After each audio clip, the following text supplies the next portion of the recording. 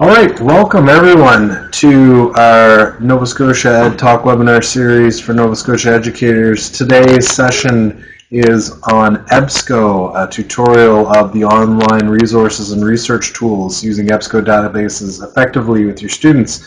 And it's my honor to welcome and thank Joe Saturski for joining us here this afternoon. Um, uh, uh, as a representative from EBSCO to give us a tutorial on um, on EBSCO and, and how you can best use it into your classrooms. So without further ado, I'm going to hand the mic over to Joe and relinquish my hosting duties to him for now. Joe? All right, thank you, Chris. And uh, hopefully my audio is a little bit better now than it was earlier. I just realized it wasn't coming through my headset, it was coming through my computer. But anyway, welcome everyone.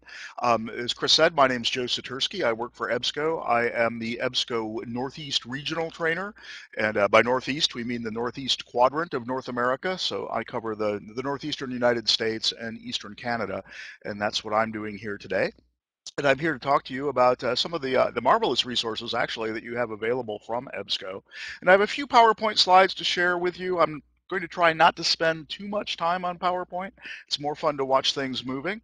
But um, if I can make this work properly, everyone keep your fingers crossed. This is my first time using this particular um, web webinar service. And I'm already messing up. What did I do wrong?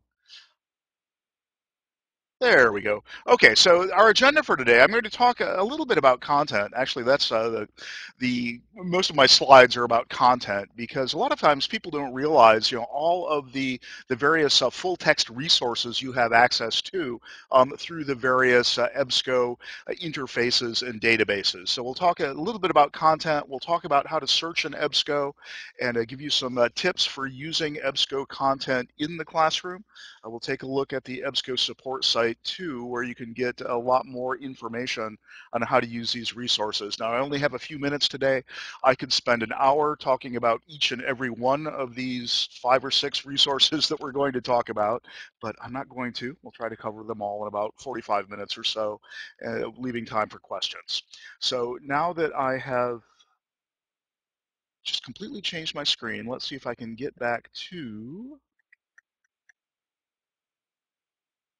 There we go. Um, as I said, I'm I'm not uh, completely versed in this particular uh, webinar service. All right, so there's our agenda. I want to jump in and talk a little bit about databases and interfaces, first of all. And if everything's working properly, it's not. Let's share my screen. The Are you doing the oh, screen I, share, Joe? Share my screen.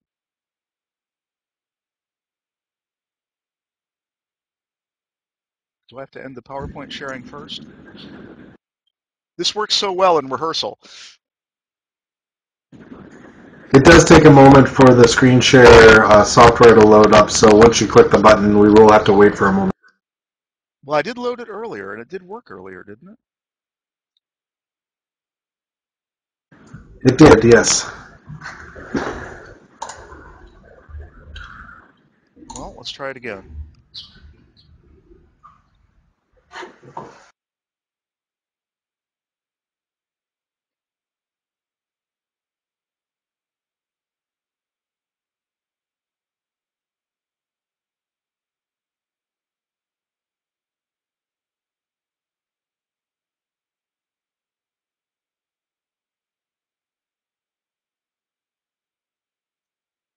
Now, why did this work earlier but not work now? I'm just confused.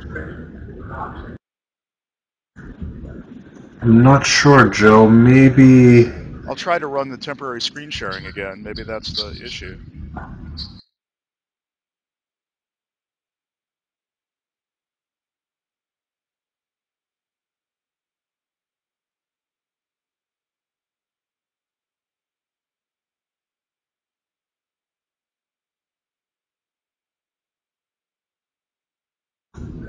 If that doesn't want to work, maybe I'll recommend that you just log out and log back in real quick and then uh, try one more time. Okay. Well, hopefully we won't have to do that.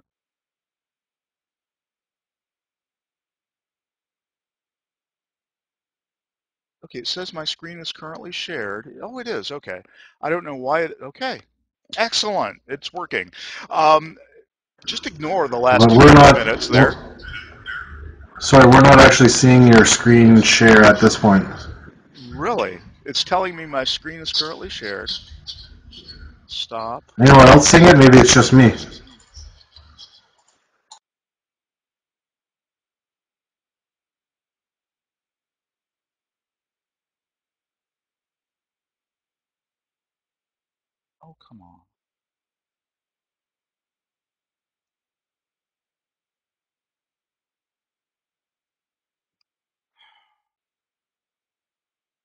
You know, technology is great. It works right up until it isn't. Let's try that again.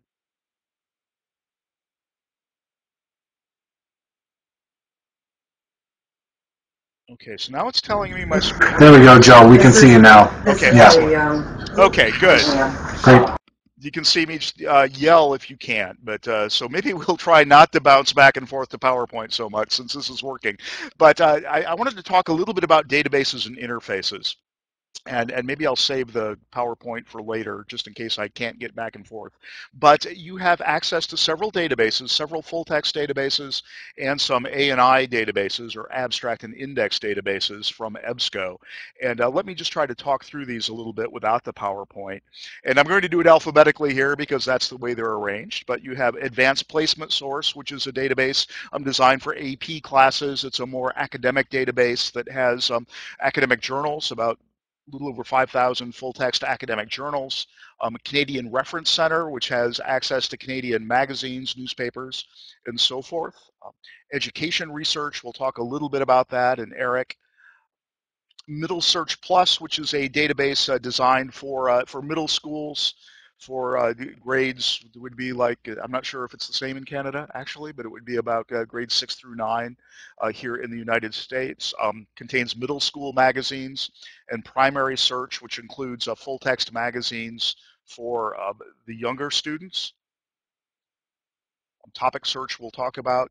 Um, Vente, uh, boy, my French teacher would be so mad at me because I can't pronounce this, but uh, this database, which has uh, French language business journals, um, teacher reference center, history reference center, which has information related to history, um, science reference center, as you could probably guess, has scientific information, Canadian literary uh, center, which has uh, information about uh, Canadian literature, the important Canadian literary magazines, and uh, all of those databases have content that's searchable through a variety of interfaces. So what's an interface? An interface is just a different way of searching a database. Um, we have the EBSCOhost web interface. That's where we're going to start out. That is the sort of the classic searching interface with a, a search box and a search button, advanced search, and so forth. Um, in some ways, it's the more, more sophisticated interface. All of this content can be searched via that interface. Um, we also have an interface which is simpler to use, and that's Explora. And Explora lets you search multiple databases uh, from that list um, using a more uh, browsable, uh, user-friendly interface. Uh, the ones I want to talk about today are Explora Canada, Primary Schools, and the Educators Edition, which I think is important. I didn't want to go there yet. We also have interfaces which are designed for a particular type of content. So both EBSCOhost Web and Explora, they're multidisciplinary databases designed for a broad range of content. There's some interfaces which are designed specifically for certain uh, topic areas, um, Canadian Points of View, History Reference Center, Science Reference Center, and Literary Reference Center. And by their names, you can probably guess the sort of content that those are going to contain. So we're going to try to cover all of this in just a, a, very short time. But one thing you'll find as I start going through this, uh, these interfaces and this content is that once you learn how to use one, you pretty much know how to use all the rest of them. Uh, the main differences are going to be differences in content, not so much in mechanics. But let's start out with the most, uh, I said the most sophisticated which is true, but also in some ways the most basic interface, EBSCOhost Web. It's a classic searching interface that uh, very similar. If you've never used EBSCO before, um, you can sit down and probably start using it. And I can really search any database here uh, using EBSCOhost Web, and, and they all act the same way. But let's just take a look at the Canadian Reference Center as our example. And when you enter into the EBSCOhost web interface, you start here on the basic search. Uh, we have a search box and a search button. And at EBSCO, we've done a lot of end user research. And one thing we've discovered is that everyone in the world knows what to do with a search box and a search button. You don't need a lot of training. You know, everyone's used Google. This works in, in some ways, this works in the same way, at least with the initial search. Uh, down below, I do have some options for making my search more precise but I don't need to use those. I'm just going to start out with something simple uh, and Canadian. Um, I, earlier today I was looking up uh, Justin Trudeau, and if I can't remember how to spell Justin Trudeau, you know, I, if you'll see down below as I start to type, I have suggestions for searches. Um, maybe I want to be more uh, specific and, and look at for information about his uh, recent India trip or women's rights or NAFTA or what have you. But let's just uh, start out simple.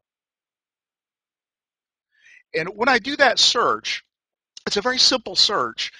And, but what's happening in the background is I'm anding those words together. In other words, I'm looking for any article that has the word Justin somewhere and the word Trudeau somewhere else within the uh, the detailed record, not the full text. I'm not searching full text here. I can, but um,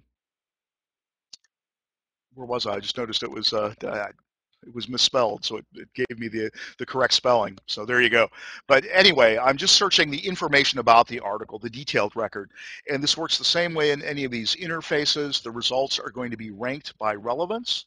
So if my search terms appear in the subject headings, if they appear in the title, that article is going to be very near the top of my results set. If I want to see more information about the article, you know, all I have to do is click on the title And that typically will show me an abstract, some subject headings, and so forth. Now the full text that you're going to find comes in one of two varieties. There's HTML full text and PDF full text. Not all articles have both. I like to pick one that does have both as an example, but I want to talk a little bit about how we can use this full text, and we have lots of options. But let's uh, let's say we're interested in this article, maybe we want to use it in class. If I click on the HTML full text, now the HTML is typically just the words. You don't see any graphics here. Occasionally you'll find a, an image or two, but it's typically just the words. But you can do a couple of things with HTML that you can't do with PDF. Now, HTML does have the translation option. This only works from English to other languages. It doesn't work the other way. But you know, if you wanted to translate this into French or whatever, Korean, um, you could do that using the translate function. Now, that is a computer doing the translating, so it's not going to be perfect, but it's usually good enough to get the gist of the article. The other thing that you can do with HTML is that you can have it read aloud to you. And you have your choice, choice of accents. Unfortunately, we don't have a Canadian accent available, but you can choose from American, Australian, and British. And uh, again, this is a computer doing the reading, so it's not going to be perfect. But, but I found that it's pretty good. It's pretty close. And this is great if you have low vision students, or uh, you can use that as a listening exercise. Um, I've also seen it used uh, if you have students who maybe have some struggles with reading. Um, you can find articles that might be just a little bit difficult for them to read and have them follow along uh, listening to the read aloud function. So there are a lot of uses with that for that. You can even download the audio file if you want to put it on your MP3 player and listen to it at the gym. But you can do that just with HTML. Now with either HTML or PDF, you can use this article in a number of ways. Um, one of them is Google Classroom. So if you're using Google Classroom to uh, manage your, your classroom activities, your lesson planning and so forth, it's very easy to add these articles to Google Classroom um, or to Google Drive. There's a link right there for either one. We can also, uh, excuse me, uh, print, email, save the information locally if I want to cite this article, if I'm writing a report and I want to cite an article from EBSCO, you know, how do you cite an online full text article? Well, we'll tell you, or we'll give you a suggestion. Um, we do have the proper citations in a number of popular citation formats, and those can be exported as well if you're using a, a citation management software.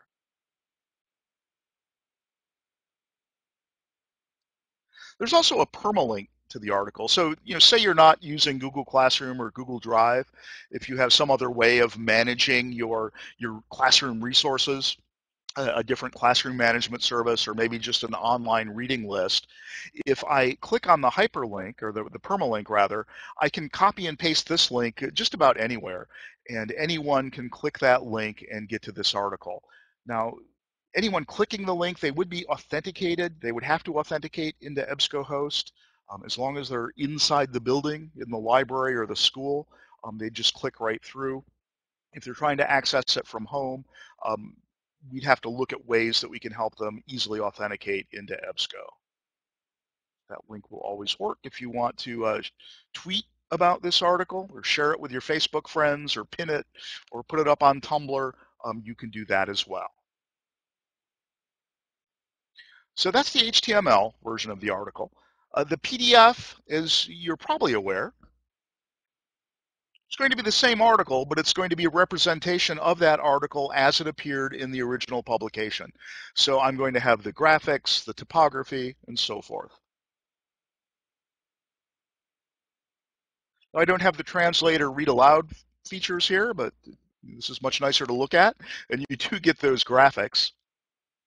You can do all the same things with the PDF that you can do with the HTML, but just one uh, word of caution that this print icon that you see here at the right, I, I pointed to that briefly with the HTML.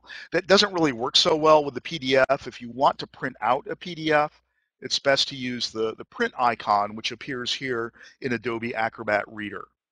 And right now I'm using Firefox to view this, and the print icon shows up here in a menu area. In um, With other browsers, it might not show up there. Sometimes it shows up in a a uh, menu that appears when you hover your mouse kind of in this region, region but use that. Use that. Now, one thing that you can do with PDF that you can't do with HTML is that you are able to browse that entire issue of this magazine. And that can be helpful. Sometimes you'll find a magazine or a journal that's done a special issue on a particular topic, and there might be other articles here that are interesting. I click here on the left so I can browse around.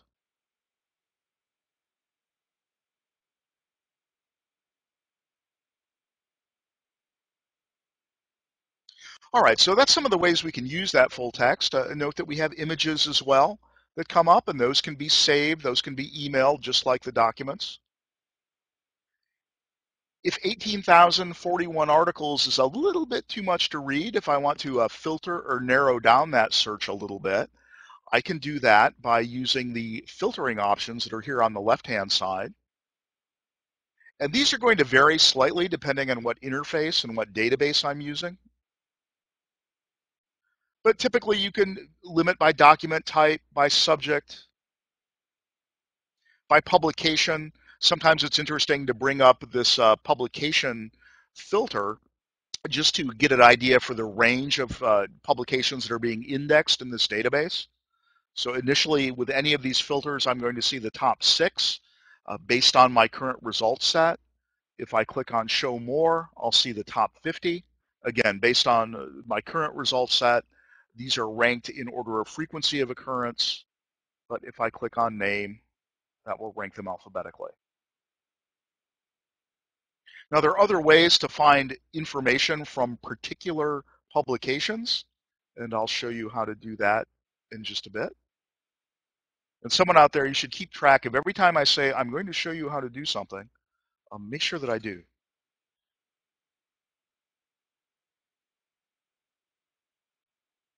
All right. Um, another very valuable filter here is the uh, subject filter.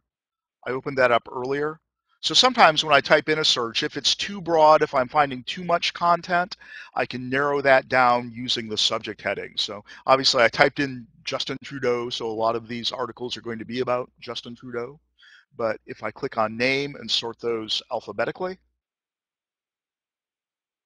say, well, what about Justin Trudeau do I want to read about? Maybe Justin Trudeau and elections or Justin Trudeau and um, Stephen Harper, articles about both of them, and so forth.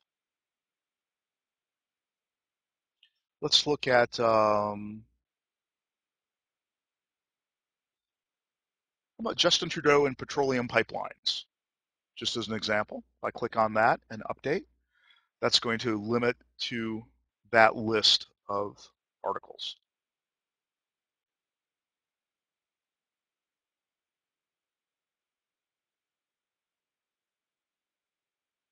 Now, if I wanted to do a more precise search, I can do that from the advanced search page. I'm here instead of the one search box, I have three, and I can pick the field that I want to search in and and things together. So if I was interested in Justin Trudeau and petroleum, I always pick things I can't spell. Let's just leave it at Justin Trudeau and petroleum. I can do that. Um, I have the option of searching within the full text of the article. I want to broaden that search a little bit, then I can apply some of those filters and limiters after the fact. So let's say we want articles about Justin Trudeau and petroleum. We want to limit it to sources published in Canada and that are available in PDF.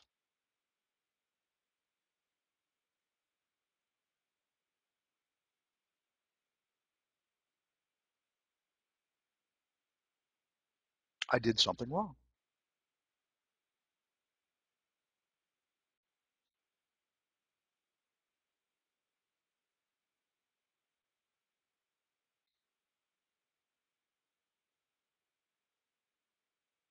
So I did that on purpose. no, I didn't.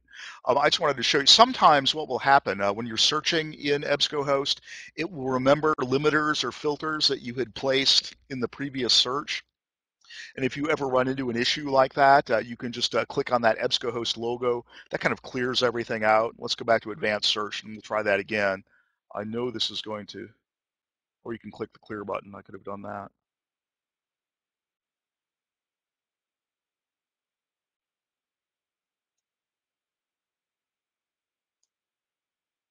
petroleum.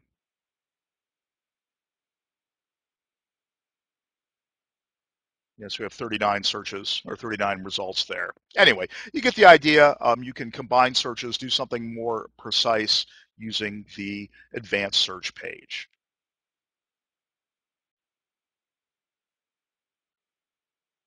And uh, if you have any questions, uh, please feel free to uh, send them in.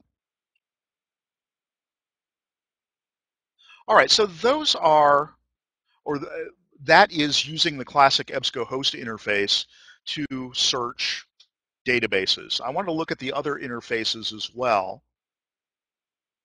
including Explora. I'm going to touch on a few of these. Now, Explora, here we're searching a lot of those same databases. Here in Explora Canada, we're searching that uh, Canada Reference Center. We're searching the Middle Search, which is the, uh, the middle school database. Uh, we're searching the AP database. So this is a way that we can broaden our search by searching multiple databases. We have the same search tools, the search box and the search button. We have the advanced search screen. We can compose our you know, more advanced search. But Explora also gives us some browsing tools, and this is great for for students or people who might not be comfortable with that uh, maybe that scary-looking EBSCO web interface, EBSCO host interface. And with Explora, you always have a banner here, and this is going to have topics of interest, of general interest. The topics that you see in the banner, they're going to change from from week to week. You'll always find something new up here. And then down below, we can search by topic area or browse by topic area. And these are broken down into broad topics. Um, we can click on one of the featured items here, or if we uh, click on more, that will give us an entire list of topics. If I scroll through here and pick one kind of at random. I don't know. Economic growth. Whenever you select one of these topics, the first thing you're going to see up at the top is going to be the topic overview. And this is an encyclopedia article, essentially. Sometimes that's all people want. They just want that overview. And if, they, if that's what they want, there's the overview and they're done. One thing we've discovered, though, is that even at the undergraduate level, if people are planning to do more in-depth research, uh, they want to see the topic overview first. They want that, uh, that background before they start doing a more in-depth research. So that works for, for both purposes. And then down below, I have the various articles ranked by relevance. Along with the Associated Press video. The research tips popped up. Now, one thing I wanted to talk about, uh, one way that you can use these articles is you can create folders and uh, save articles to folders. Those folders can be shared with students. Um, it can be a one-way sharing where you put articles into a folder and then give the students access to your folder. You can also set up collaborative folders if you have a, a group project where a group of students are working on the same topic. Um, they can create a, a group folder, a collaborative folder. In order to create the folders, you do need to log into My EBSCO host first. And you can do that from any one of these interfaces. But let's, um, let's start out. Before we log in, I'm going to add a few of these articles. Let's pretend, oh, that looks interesting. This looks interesting. We can add it to the folder by clicking on that folder icon. And these are being added to my folder, but they're being added to my session folder. Now, what that means is this information is going to go away at the end of the session. So what good is it? Well, if I'm if I'm working with a student and I'm finding some articles that might be of interest to them, rather than stopping to uh, email or print out every article, I can put them here into the session folder. And then when we found everything we're looking for, we just select all, and then we can email those all at once. Then the next time I come into Explora or any one of these interfaces, I'll have an empty folder and I can start from scratch. But if I want to keep this for later use, I'll need to sign in. And uh, you, any one of your students, they can create their own MyEBSCO host account. And I have actually not created one for this EBSCO account yet. So let me create one really quickly. Whoops. And just what Joe is typing there, uh, Patricia brought it to my attention that uh, the discussion chat box closed as soon as we did the screen share. So if you're seeing no chat box, you can open that again by clicking on the little arrow on the left side of your screen, and that will unfold that section to see the chat box to be able to ask questions. Okay. Great, thank you. I was, I was trying to think, I, I'm not seeing that. Actually, if you see questions come in, Chris, that uh, I'm missing, um, let me know. Okay, so I was going to log in, and um, here, when you create an account in Explora, uh, out of uh, for privacy reasons, uh, in the Explora interface, we don't prompt for a last name or an email address. So if you want to stay a little bit private, you know, you can create it from here. Um, if, you, if I created this in one of the other in a non-Explora interface, it would prompt me for my last name, but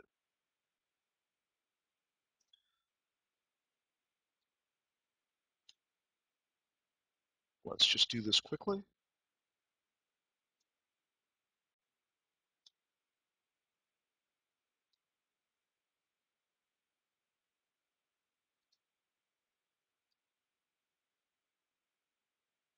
And so once that account's been created,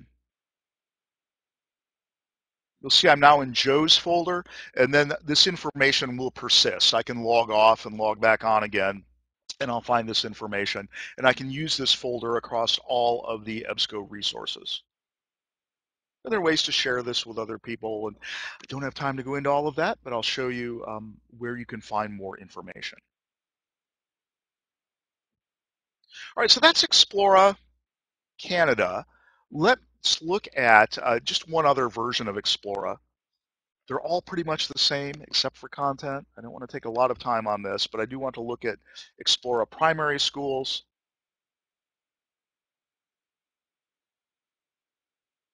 which is essentially a more simplified version of Explora.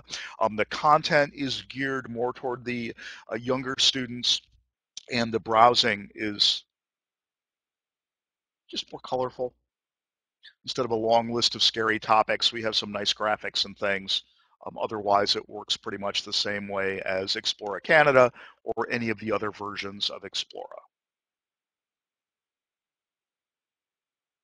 All right, let's talk. Uh, I don't want to thinking about time here. Let's talk about some of these other interfaces. So EBSCOhost Web, um, again, that's the uh, the advanced interface where you can search everything, all of the content. Explora is another multidisciplinary database that's a little bit easier to search, a little bit more user-friendly.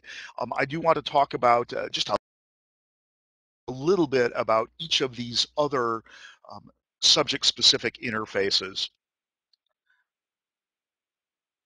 and I do urge you to spend time on your own exploring these because I don't have the time to go into a lot of detail, but you will find some commonalities among these interfaces. For example, in History Reference Center, we have a search box, we have a search button, we have a browsing method which is based on or designed for this type of content.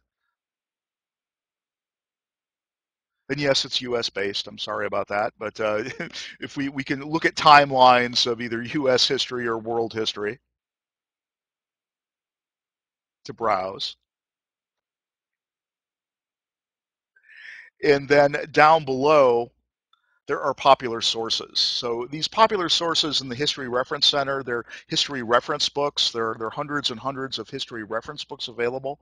Um, I love these Everyday Life in Ancient Times books if you want to know what people did, or everyday life books, this is ancient times. Um, if you want to know what people did for fun in ancient times,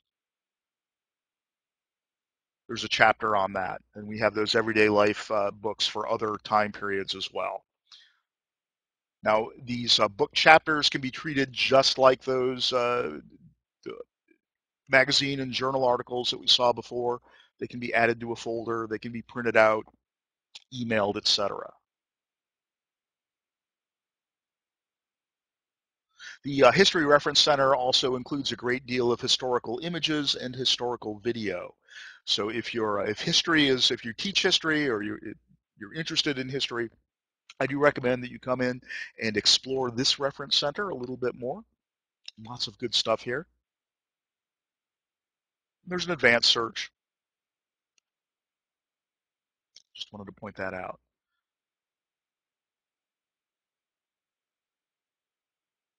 The Science Reference Center, you can probably guess, includes science content. Let's make that just a little bit bigger. Um, and the browsing tools apply to scientific categories. you want to go to space sciences and astronomy and learn about the Big Bang Theory,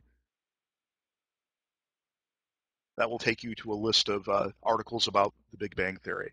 And one funny thing I found is that if you're looking for articles about the Big Bang Theory, Science Reference Center is a good place to go to get them. If you try one of the more general databases, like uh, the advanced, well, not advanced placement, but but some of the more general magazine databases that you have access to. If you type in Big Bang Theory, uh, your results tend to get swamped by articles about the TV show The Big Bang Theory, and not the actual Big Bang Theory. But with Science and Refer- Science Reference Center, you're safe. A lot of these reference centers have additional content beyond the the handbooks, the reference books, the magazine articles. Um, here in Science Reference Center, we have links to uh, lesson plans, which is handy. And one thing that I absolutely will show you is how to find more information on lesson planning using EBSCOhost. But here in Science Reference Center, we have teacher's guides and lesson plans to do with science.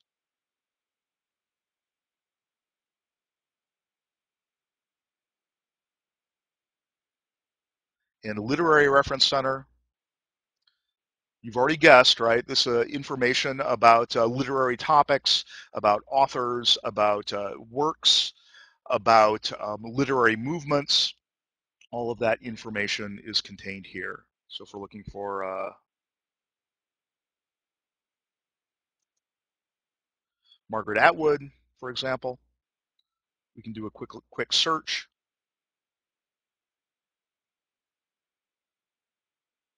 And the source types include, in this particular uh, reference center, include uh, magazines and reviews, but also literary criticism, uh, information from reference books, um, plot summaries. There are uh, master plot summaries for uh, many, many literary works are available here in the Literary Reference Center.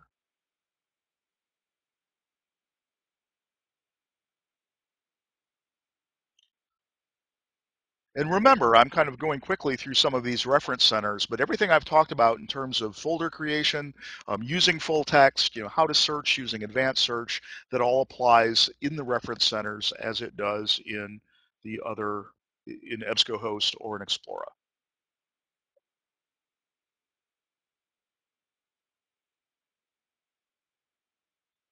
And then the final area or the final reference center that I want to touch on is Canadian Points of View. And this is very different. It's different from a lot of the other reference centers in that it is, it's designed with a specific purpose to uh, help people, to help students write um, persuasive or argumentative papers. And what we've done here is we've taken um, hundreds of controversial topics and we've uh, broken them down. We, we include a topic overview, a point, a counterpoint, um, information about how to approach the topic, along with links to articles about that topic in many, many different opinion magazines that, that are both left, right, center, all over the political spectrum. And for those topics, uh, there's a list of them down below. list of them down below. There's some featured topics in the carousel. You'll get used to seeing carousels. And then down below, there's a complete list of topics. So if you're um, interested in uh, about uh, Aboriginal fishing in the Maritimes, let's try that one. For each one of those topics, there's a topic overview, which just gives an, introdu an introduction to the controversy. There is a point, and that will be uh, someone taking one position on that controversy. There's a counterpoint presenting the opposite position. And then a guide to critical analysis, which gives information on you know how to determine you know what's an opinion and what's a fact, um, some ideas for things to uh, think about when you're reading information about uh, when you're reading additional information on this topic.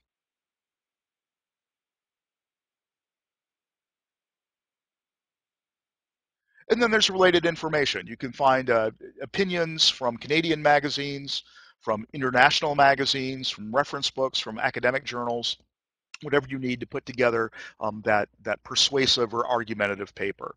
And I found this is great too, even if you're not a student writing an argumentative paper. If there's a controversy or a topic that's in the news, and you just want to see both sides to kind of figure out where you stand on that topic, um, Points of View Reference Center is a great place to go for that information.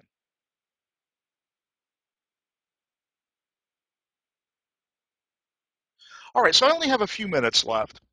I have more than a few, but I do want to make sure that I leave lots of time uh, for questions. Um, but let me spend a little bit of time talking about other ways that you can incorporate this information into the classroom. Now, we've seen, you know, we have our options for printing out text. Um, we can find uh, videos, we can find graphics, we can find magazine articles, journal articles that we can print out, that we can share with our students. Um, but there's also some helps here to, uh, to help put it all together. And we looked at those, those just lost my train of thought. We, we looked at those uh, lesson plans in Science Reference Center. We don't have lesson plans listed ex explicitly in every reference center, but I want to look at one more version of Explora. And that is the Explora for Educators. And so this includes information from the professional literature. So if you want to use this for professional development, uh, working on an advanced degree in education, Uh, this will uh, provide access to those those journal articles and so forth. Um, like the other versions of Explora, there's a banner up here at the top. You can do a search.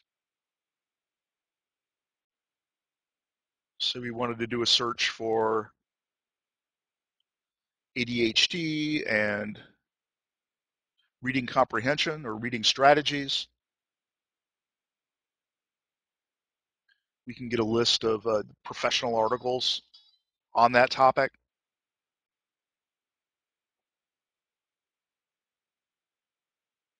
But we can also use this to search for lesson plans. And, and down below, we have some that we have explicitly linked for STEM, geometry, and American history. If I click on that link, that will actually take me to a list of STEM lesson plans, which is handy.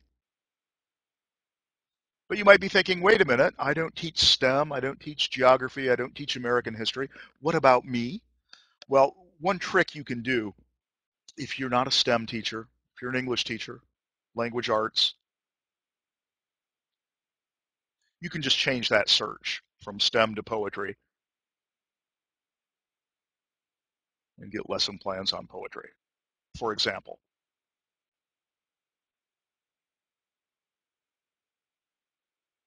Now, another source for that sort of information is the EBSCO help site. You'll find that at help.ebsco.com. There are a couple of ways of accessing this type of information. What I like to do is just go to the search box and type in lesson plan.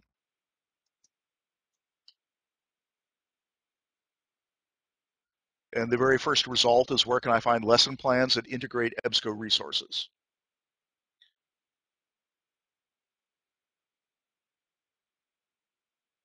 So we have, uh, at EBSCO, we, we've prepared lesson plans. We've also uh, borrowed lesson plans from uh, other from teachers who are working with EBSCO, including those here. And this is an ever-growing list of resources. If, uh, say, for Explora, you're looking for a lesson plan that would uh, integrate Explora into the classroom, um, here's an example, a middle school life in ancient Egypt. Let's just take a look at that one, for example.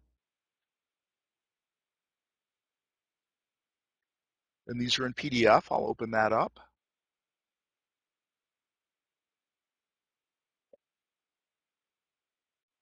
And so here's a complete lesson plan, how to use Explora.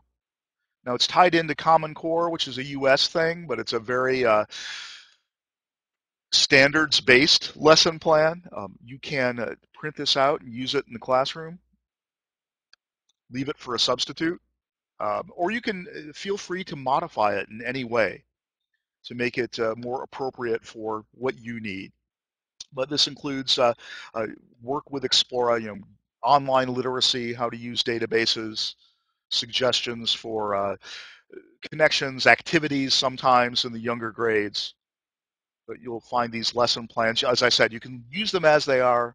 You can um, modify them in any way. You're certainly free to do that or you can just use them as inspiration for, you know, how do I go about creating a lesson plan that incorporates these online resources? Um, here we have some suggestions for you. And that's all at help.ebsco.com. And with that, I think we're coming up to the end of the time. I'm going to stop all of this sharing and bring us back to the main screen. So now that makes it easier for people to type in questions and for me to see questions. And I'll just open up the floor. Are there any questions? That's great. Thanks, Joe. Um, if you have questions, you can type them into the chat box right now, and uh, I'll just get you to mute your mic, Joe, while I'm talking for a moment. I, there were a couple questions throughout the presentation that popped up. Um, one was having to do with not being able to log into EBSCO from Strait Regional uh, Center for Education and looking for login credentials uh, outside of schools. Um, and that's something that I'm going to have to look into uh, and get back to you. But if you registered for today's webinar um, through the NS Ed Talk webinar series, then I will look up your email addresses and, and send that out to you uh, as soon as I get that information. I can't seem to pull it up on my computer right away. And I don't think Joe knows that off the top of his head. Maybe he does. But um, if there are any other questions for Joe, I did have one question for you, Joe, actually, while you were doing your presentation. I was wondering if there is um, a mechanism within EBSCO to uh, set up um, email responses for certain search criteria. So when articles that come up with that search criteria, can they can you be alerted uh, via email through EBSCO? Is that a possibility? Oh yes, it is, and that's um, I, I, didn't didn't get into that, but uh, you can certainly find that information on the EBSCO help site. But it, it's fairly simple. Um, you can there is a, uh, a share function with a search, and you can once you're logged into my MyEBSCOhost, you can very easily set up a search alert. You can also set up search alerts for publications. So if you wanted to, the next time National Geographic Explorer Explorer gets uh, loaded into EBSCO, you can get a search alert that has the table of contents in it. So yeah, there's lots of uh, lots of options for alerts. Um, if you want more information on uh, any of that sort of info, any of that sort of thing, um, if you go to that help.ebsco.com page, there are video tutorials and uh, text tutorials on how to set that up. That's fantastic. Thanks, Joe. And uh, maybe we'll get you back for uh, a second round of uh, more in-depth uh, overview of some of the things that EBSCO has to offer. But I want to thank Joe uh, for his time today, calling in um, to to facilitate or to present this uh, on EBSCO. And I'd like to thank everyone for joining us today and being mindful of the time. I'm, I'm going to say thank you and have a great day. All right, thank you, everyone.